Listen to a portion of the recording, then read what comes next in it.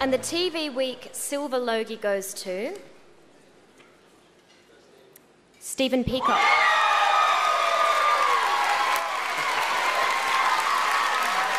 Congratulations, Stephen. I'm sure you have a few people you would like to thank. Yeah, uh, look, this this is completely unexpected. Um, no, it's not actually. They told me I was going to win. That's why I'm here.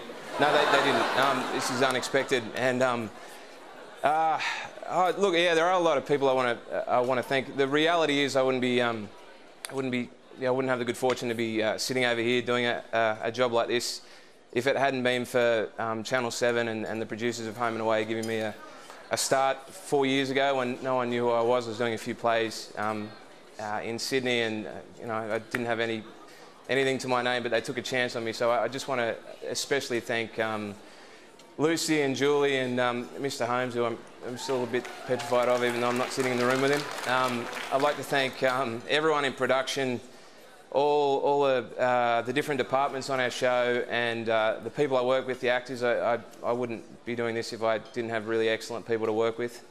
And um, especially, I always like to um, pay special tribute to our crew. Um, it's the second time I've worked in America in the last um, last couple of months, and you know I'm working with people over here, and I always think to myself, there's there's nothing that the blokes I work with back on home and away couldn't couldn't come over here and do even better.